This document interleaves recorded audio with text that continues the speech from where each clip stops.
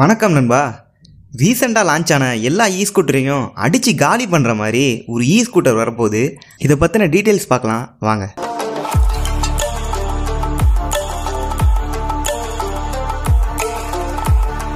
நண்பா கொஞ்ச நாள் முன்னே தான் Simple Energy two thirty six ரேஞ்சோட simple one அப்படிங்கிற ஒரு இ ஸ்கூட்டரை லான்ச் பண்ணியிருந்தாங்க. இந்த செக்மெண்ட்லேயே இதுதான் டாப்பான ஒரு ரேஞ்ச் அப்படின்னு சொல்லலாம். ஆனால் இவங்களுக்கே டஃப் கொடுக்குற அளவுக்கு கூடிய சீக்கிரமே ஒரு சூப்பரான இ ஸ்கூட்டரை நம்ம எதிர்பார்க்கலாம். இவங்களுமே இந்த கர்நாடகா ஸ்டேட்டை பேஸ் பண்ணி தான் ஒரு ஸ்டார்ட் அப் கம்பெனியை ஆரம்பிச்சிருக்காங்க.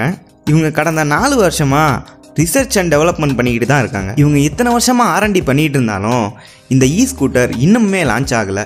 கர்நாடகாவை சென்டராக வச்சு ரன் ஆகிட்டு இருக்க ஒரு கம்பெனி தான் ரிவோட் மோட்டார் அப்படி என்ன தான் இருக்குன்னு தெரில கர்நாடகாவில் எல்லாருமே அங்கேருந்து தான் வராங்க. சரி அதை விடுங்க.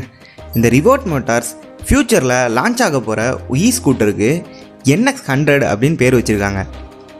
இந்த ஸ்கூட்டரோட டிசைனை பார்த்தீங்கன்னா ஒரு ப்ரீமியம் லுக்கோட தாங்க இருக்குது இந்த e இ ஸ்கூட்டர் பலவிதமான ஸ்மார்ட் ஃபீச்சர்ஸோட லான்ச் ஆக போகுது அப்படின்னு சொல்லியிருக்காங்க.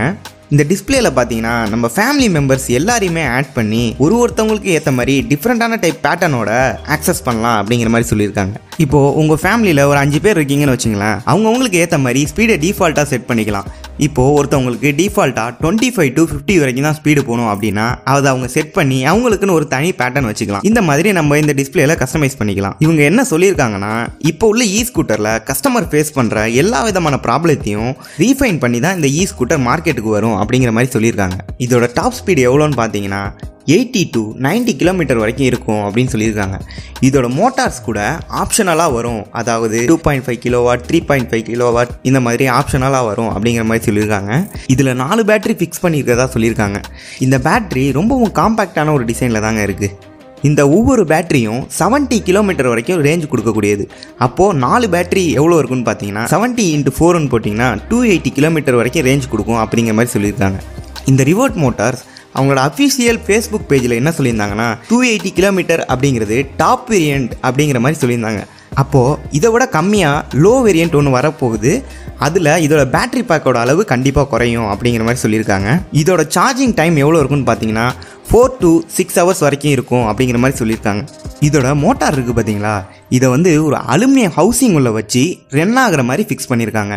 இதில் தேர்ட்டி ஃபைவ் பர்சன்டேஜ் வரைக்கும் ரீஜெனரேட்டிவ் பிரேக்கிங் சிஸ்டம் மூலயமா பேட்டரியை சார்ஜ் பண்ணலாம் அப்படிங்கிற மாதிரி சொல்லியிருக்காங்க. உண்மையாகவே இது இப்படி இருந்ததுன்னா சூப்பரான ஒரு விஷயம் அப்படின்னு தான் சொல்லணும். இதில் ஃப்ரண்ட்டில் டெலஸ்கோபிக் சஸ்பென்ஷனும் ரியரில் மோனாசாக்ஸ் அப்சர்வரும் கொடுத்துருக்காங்க. இந்த மோனாசாக்ஸ் அப்சர்வர் பார்த்தீங்கன்னா ஸ்லோப்பான ஒரு டிசைனில் கொடுத்துருக்காங்க.